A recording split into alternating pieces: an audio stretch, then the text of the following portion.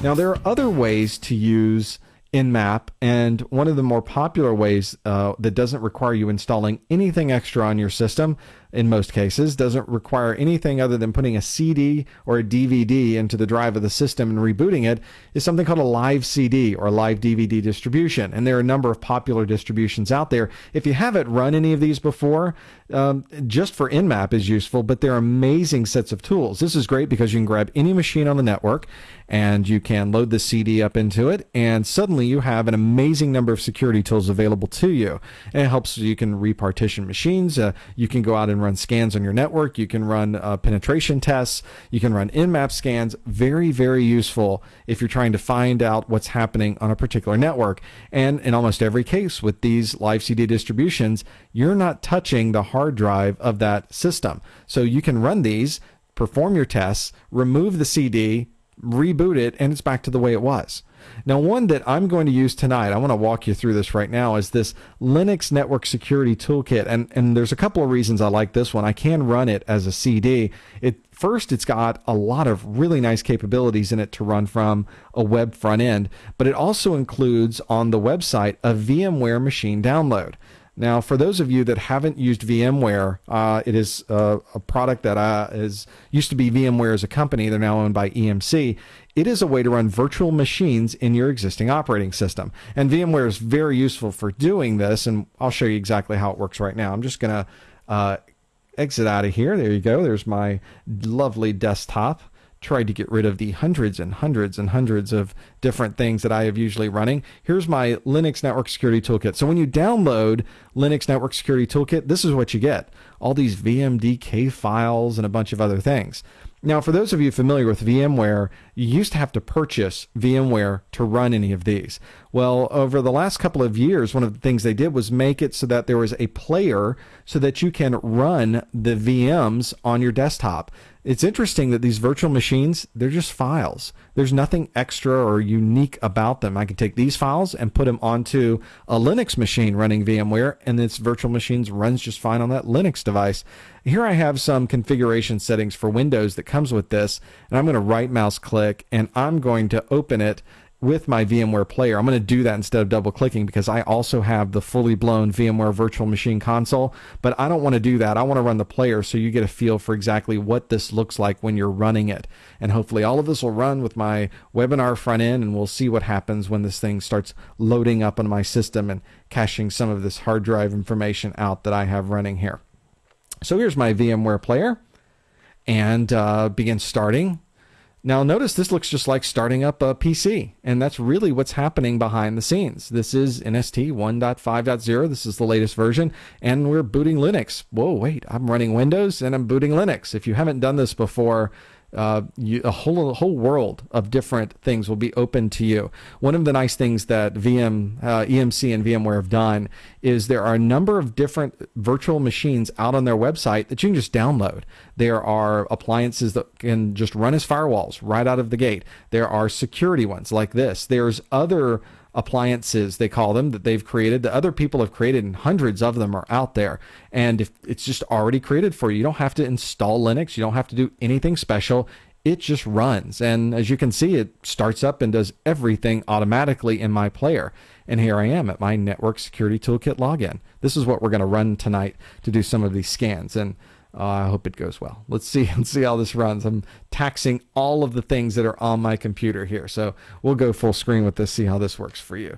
I'm going to log in now. One of the things that comes with this is is the login command, so you can see exactly how to log in as root. And the default password is uh, network nst network security toolkit 2003. And hopefully I typed that right. I have a microphone in my face and doing a lot of things at one time here. So hey, I got it right. One for me. So my last Firefox session closed unexpectedly. So yeah, let's start a, a, new session.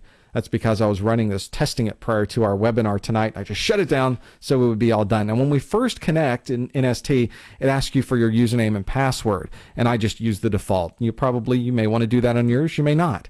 And this is the default screen that comes up. We're done. Ta-da. We are running NST on this machine. So one of the nice things is that all of these different settings that are in here uh, is all web-based, a web-based front end. That's another way that you can run some of the tools that are available. Look at all of these things in NST that you can do.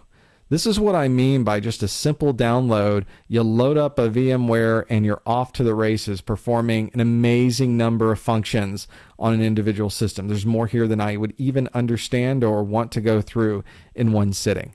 One we're interested in is Nmap. There it is. We're going to click on it.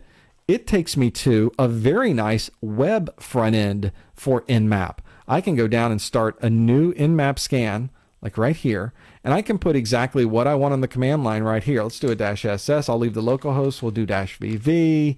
Um, maybe I'll also do a UDP scan, and I'll tell it to start it up. This is very different. If you've run Nmap at the command line, you realize that's that's pretty different than than what we've done before. If we exit back out, there in fact is my command right there, and it's done. It completed successfully. The scan results show us. Let's see what happened out here on this machine. There's our Nmap results. Then let's go through this, this, these results really quick. This is a very common output that you'd get from Nmap, and there's some interesting things that are here. Uh, let's go through from the beginning. This is what we'll see. This is Nmap 4.20. By the way, that's the latest that's out on insecure.org. So that's another nice thing about this particular uh, compilation of programs. It's already built and it's using some of the latest software that's out there. It's very recent. Uh, okay, well, we initiated a SYN scan. And if you've ever run a scan before, notice there's a lot of extra things here. That's because one of the things I did on the command line was do a dash VV if you haven't taken advantage of Nmap's verbosity options before, very, very useful to you because what you're going to find is that there's going to be a lot more information available for you once you go through the scan. And if you're doing it interactively, you'll also find a number of things will pop up on the screen as it goes along, which is often helpful if you're trying to figure out what's really going on behind the scenes. So as it discovered the open ports with the double V, which is two levels of verbosity, uh, you can see that it found open ports as it went and completed a SYN scan after it it finished the SYN scan, it started a UDP scan. So individual scans are done one after the other, especially if I do multiple scans at the command line. And it said it scanned in that local device and uh, finished the the uh, um, the host is up. It finished. There are some interesting ports in the device, and it showed port 22, which is SSH, port 80, which is HTTP 443, a web server running on this particular uh, live CD or vir- live virtual machine, if you will. An X Windows server is running on port 6000, very common this environment. Notice it just lumped in also the UDP. And remember, with the UDP, if we find an open port, very often we're not quite sure if it's open or if it's filtered. And sure enough, our Nmap output shows us open or filtered. And that's for a DHCP uh, configuration that's there, a server that's running on that machine.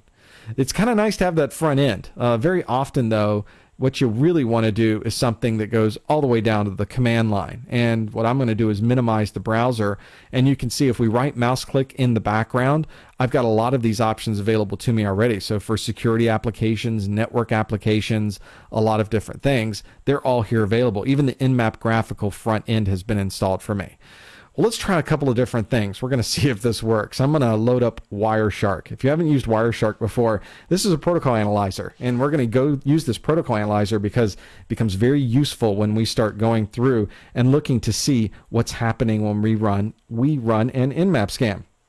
I'm also going to open up a terminal display because I'm going to run Nmap at the command line. I'm going to assume that in your particular case that you may not have Nmap available with a, a fancy schmancy front end. So we're going to go hardcore here. We're going to use Nmap at the command line and run a few things. And we're we're going to come back to this in just a bit and run a few scans, but that is a very easy way to take advantage of a virtual machine and we didn't actually install anything other than our VMware player and load some files out on this machine and we were up and running with Nmap. So very often the operating system you have in your desktop doesn't really matter. So go out and get a CD and reboot a machine or load it up on a USB stick. A number of those CDs will allow you to do that these days or load up your virtual machine. If you are in a case where you really do want to install Nmap yourself, there are some fantastic installation guides that Fyodor has out on insecure.org and I added the URL